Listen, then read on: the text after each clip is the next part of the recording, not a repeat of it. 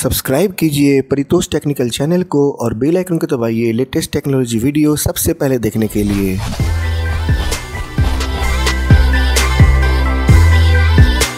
BoAt stone grenade, boAt stone 260 दोनों का ही मैंने proper video unboxing review video बनाया हुआ है और अभी तक आपने वो दोनों वीडियो नहीं देखा है तो आपको डिस्क्रिप्शन में दोनों के लिंक मिल जाएँगे।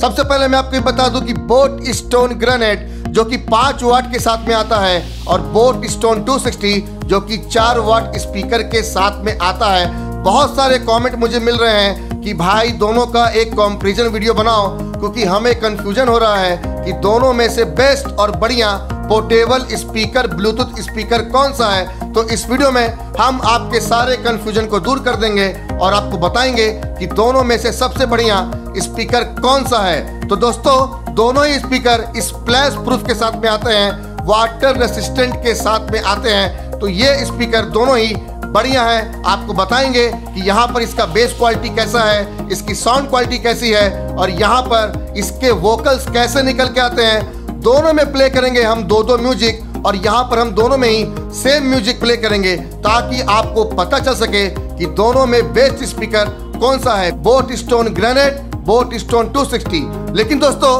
क्योंकि ये जो स्पीकर आप हाथ में देख रहे हैं, ये है टैग फ्लैक्स की boat stone grenade, boat stone 260 और ये जो टैग फ्लैक्स है, मैं आपको इसके भी कंपेरिजन करूँगा इन दोनों स्पीकर के साथ में। मैं आपको एक चीज़ बताना चाहता हूँ कि ये जो टैग फ्लैक्स है, ये इन दोनों से बढ़िया स्पीकर है। यहाँ पर जो इसकी म्यूज़िक क्वालिटी है, वो गजब की है, बेस आपको गजब मिल जाता है। और यहाँ पर साउंड बहुत लाउड आपको मिल जाता है। जी हाँ लेकिन दोस्तों, ये जो टैग फ्लैश है, ये स्प्लैश प्रूफ नहीं है। लेकिन यहाँ पर अगर आपको स्प्लैश प्रूफ नहीं चाहिए तो आप ये स्पीकर को भी कंसीडर कर सकते हैं। तो दोस्तों वीडियो को पूरा देख लीजिएगा। और दोस्तों, अभी तक आपने हमारे चैनल को सब्सक्राइब नहीं किया है सब्सक्राइब कर लें और बेल आइकन को दबा दें ताकि आपको आने वाली नोटिफिकेशन टाइमली मिल जाए। नमस्कार दोस्तों, मेरा नाम परितोष है और आप देख रहे हैं परितोष टेक्निकल तो चलिए शुरू करते हैं।